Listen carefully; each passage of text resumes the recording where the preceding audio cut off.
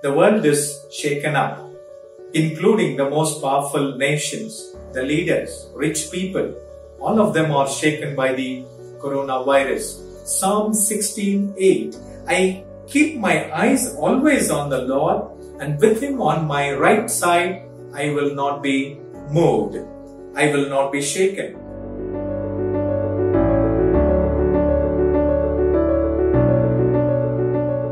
Greet you in the name of our Lord and Savior Jesus Christ. I'm so happy to connect with you again through this devotion. If you remember last time I was talking about standing firm and I thought I'll take it little more forward and talk about being unshakable. Turn with me to Psalm 125 1. Those who trust in the Lord are like Mount Zion which cannot be shaken but endures forever. What a comforting word. What an assurance in the midst of all that the world is going through. The world is shaken up, including the most powerful nations, the leaders, rich people. All of them are shaken by the coronavirus. It's not just COVID 19 alone, it's the resultant situation. The lockdown, the loss of jobs, loss of business, economic slowdown, breakdown, and fear of future, and so many other things have shaken up people. But in the midst of all this, you and I have hope when we put our trust in the Lord. The psalmist says, when we put our trust in Him, we, we would stand firm like Mount Zion. It doesn't mean we would not be affected by disease, sickness, and other problems of this world. It only means when they come, we would be standing firm. You know, you hardly uh, ever hear of a mountain being displaced or, or, you know, moving because of an earthquake or a storm or a flood. Storms do come and assail the mountains, but mountains stand firm. You know, I hear sometimes some preachers say, when you trust Jesus as your Savior, that's the end of all your problems. You would not have any difficulty, you would not have any sickness. And recently I heard someone say coronavirus cannot enter the blood washed body of a believer. No, not at all true. The Word of God is very clear. When we go through difficulties, troubles, and sickness, and various other problems of this world, when you trust God, you are going to be firm. That is all the psalmist is saying. The psalmist should know because he faced lions, he faced bears, and he, they could not shake him up.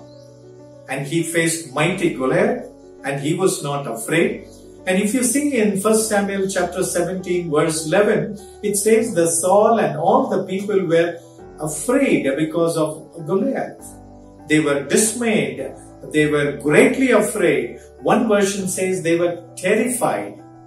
But if you look at David's response, it is totally the opposite. If you go down to verses 45 to 47, he challenges Goliath. He tells him on his face, you come with a sword, you come with a javelin and a spear. I come with a, I come in the name of the Lord of uh, the Lord of the armies, the, Lord, the armies of Israel, the Lord of hosts. And then you see in verse uh, 46, he says with confidence, This day the Lord will deliver you into my hand. This day I will strike you down, cut off your head, and give the carcasses of the Philistines to the birds of the air and the creatures of the earth, and then the whole world will know there is a God in Israel. What words of confidence! It all results from David's trust in God. And surely God did deliver Goliath into David's hands. And it was not the only time. David was many times chased by his enemies.